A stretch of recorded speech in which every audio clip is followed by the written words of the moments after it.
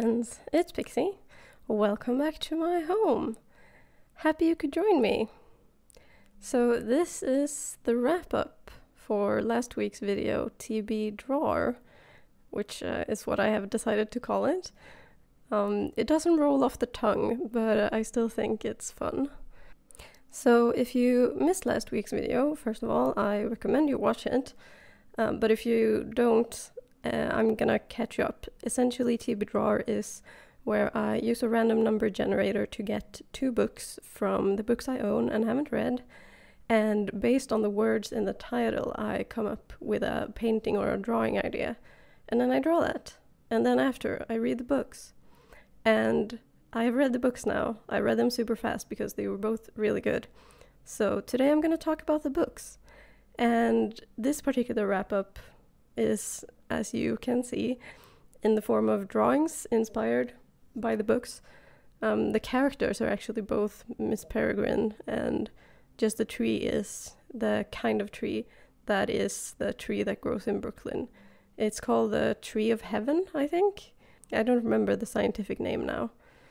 Anyway, let's start with talking about Miss Peregrine's Home for Peculiar Children it's the first book in a six book series, which is exciting because I really enjoyed reading this one.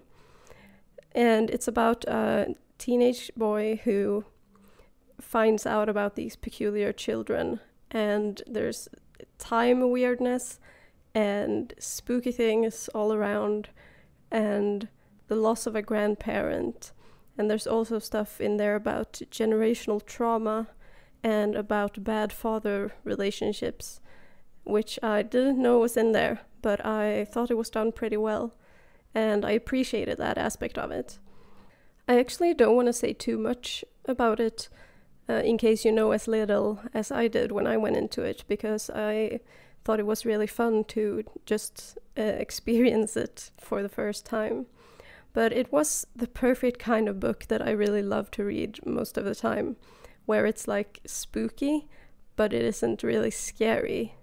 Like I might get a little tingle in my stomach sometimes, but it's not scary and I don't feel like nauseous.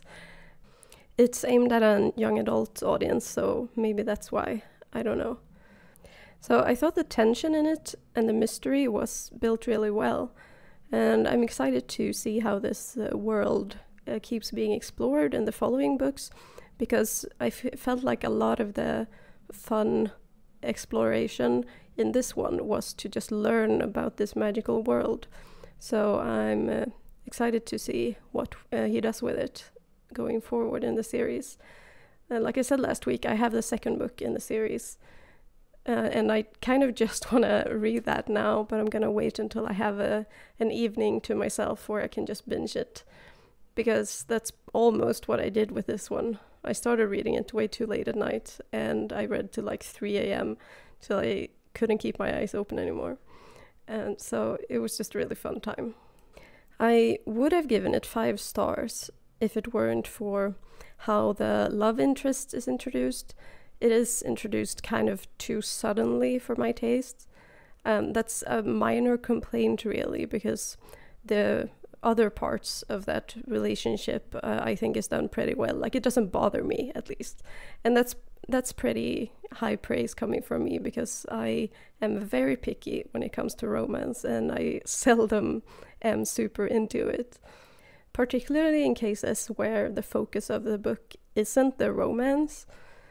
Like, I don't hate romance novels at all, but when there is like a side romance in a book that's about something else, then they have to really impress me because I often feel like it's not necessary. But in this case, it does fit really well with the rest of the book, so it's uh, it's good. A solid four stars, and I am gonna continue with the series when I can. A Tree Grows in Brooklyn by Betty Smith, on the other hand, was five stars. I absolutely loved it, and I also read this one really quick. But I know it's a book that's not going to be for everyone. Like, a certain type of reader is definitely going to say that nothing happens in it. But, like, entire lives happen in it. We have births, we have deaths, we have divorces, and it's just a lot. So it's a coming of age story about a girl who grows up very poor in Brooklyn. And there does come up some heavier things. Uh, her dad is an alcoholic, and that is uh, mentioned quite a lot. So that's something to be aware of if you want to read this, which I really recommend that you do, but um, just so you're prepared when you go into it. There also is a short bit where a pedophile shows up, but he is uh, swiftly dealt with if I can say that without spoilers. That's just something I want you to be aware of because I I would want that if uh, that was a big trigger for me more than it's generally gross. But the big reason that I really love this book is how it uh, approached all the humans, except the pedophile, with just so much curiosity and compassion like it never glosses over the flaws uh, of any character, but they always get a chance to explain why they do what they do. And I I really love that. I think that's really the revolutionary way to look at human beings, not to laugh or to weep, but to understand.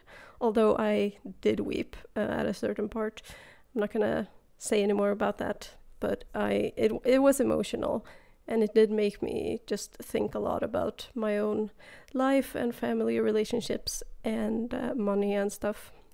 But going back to that perspective on humanity, I think it's really about the faith in the potential of people, even if they're not currently able to be their best selves. They uh, there's a reason why they aren't, and they could they can always change.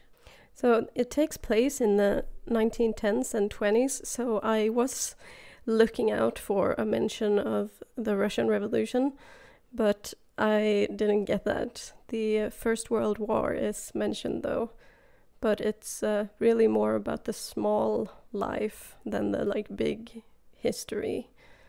And I really appreciate that sometimes because I think uh, it can be underestimated that there is something grand in just, uh, in quotation marks, feeding a family and going to a job and just getting by, really. Because life is not easy, and yet people keep doing it in the most adverse of conditions. I guess that's what the title is all about. This tree grows in really bad conditions the earth is sour and it gets no sun and it's uh, stone and dirt and just bad. But it grows, it's impossible to kill, and uh, that's how these poor working class people have to uh, get through life as well. Also, I feel like in this case, maybe it does make a difference that Betty Smith herself grew up in these conditions because it's really not poverty porn or like misery porn in any sort of way, although miserable things happen. It's quite a lot of happiness and joy in there. And of course, shows uh, love and solidarity in much greater amounts than uh, bad things that people do. Like I was talking about, about the uh, compassionate uh, worldview that I feel the book is written with. So I really love that one. But uh, to sort of circle back to what I said before, I can definitely understand that you wouldn't like it if, let's say, you were forced to read it in school.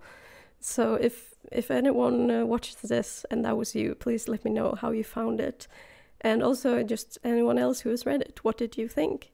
Did you did you read what I read? Like, did you feel similar ways, or did you have a completely different experience? I would love to know. All in all, I feel like my first TBdrawR was a great success, and I really hope to be able to do it again soon. But we'll see how uh, the finances shape up. But thank you so much for joining me. I hope you enjoy this at least half as much as I do. And uh, thank you for coming to hang out. As usual, an extra big shout out to my patrons who help my existence uh, be possible. I I really appreciate that. I really like existing. It's it's good. Despite capitalism, it's good to be alive.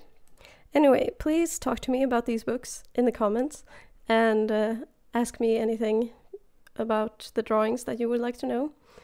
And I will see you next week. Until then, please take care of yourself and have a good one. Bye.